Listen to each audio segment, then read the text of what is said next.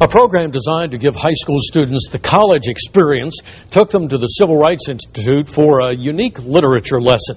Fox 6 News anchor Sarah Verser shows us how students dissected Dr. King's famous letter from the Birmingham jail in a lesson they'll never forget. Highlighters in hand, their eyes are peeled, looking for meanings behind the meanings of words so sharp they can cut and heal at the same time. And he finishes off again with another metaphor.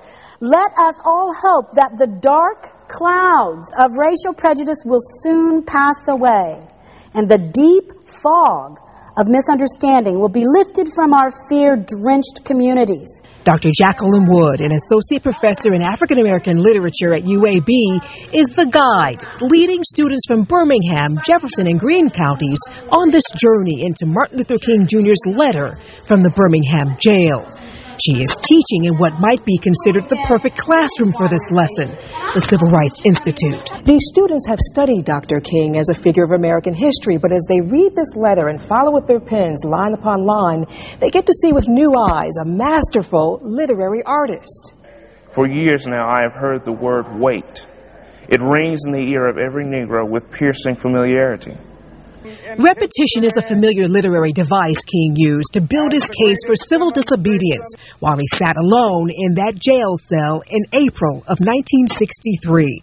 Ramsay High's Sydney Page says the words are so transparent, you feel like you are there too.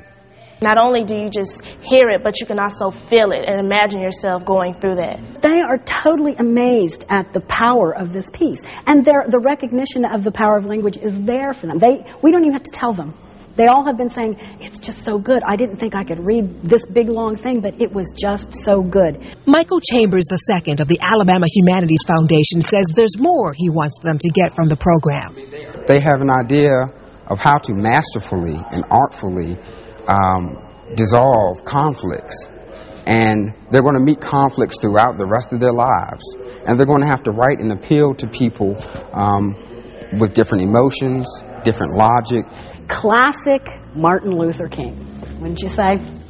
In Birmingham, Sarah Verser, Fox 6 News.